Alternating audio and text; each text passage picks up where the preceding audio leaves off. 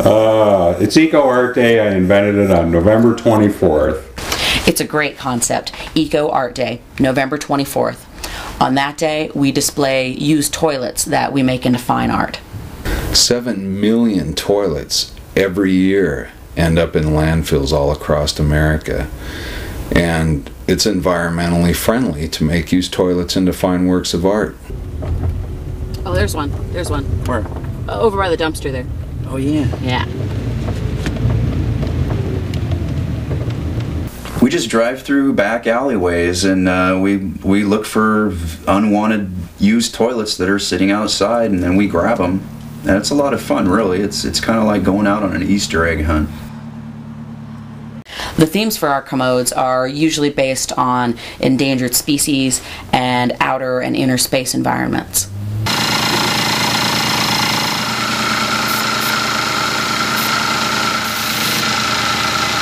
Gnostic Orchard has a root beer farm.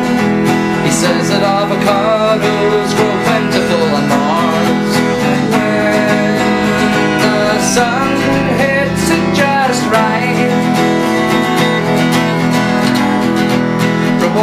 with barrels when I was only five.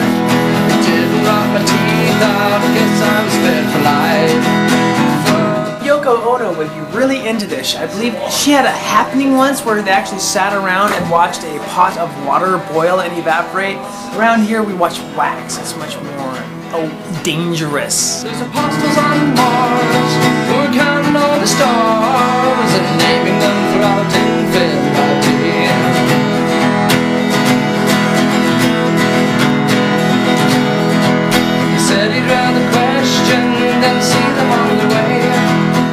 toilets we make into giant candles, some we make into flower pots and ashtrays, and some we paint fluorescent colors to represent toxic waste. He traveled like an Indian, but he never could stay. His own My favorite inner space toilet was actually a replica of the submarine from the movie Fantastic Voyage.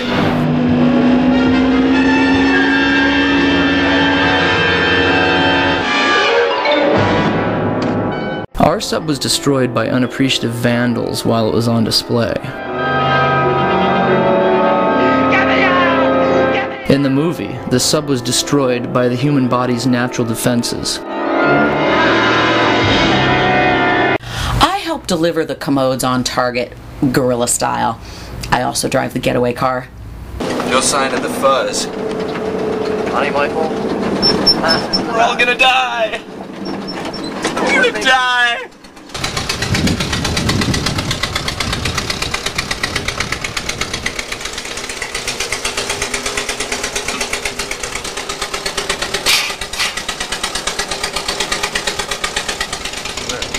Hurry it up, boys!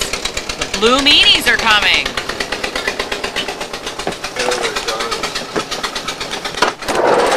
Mission accomplished.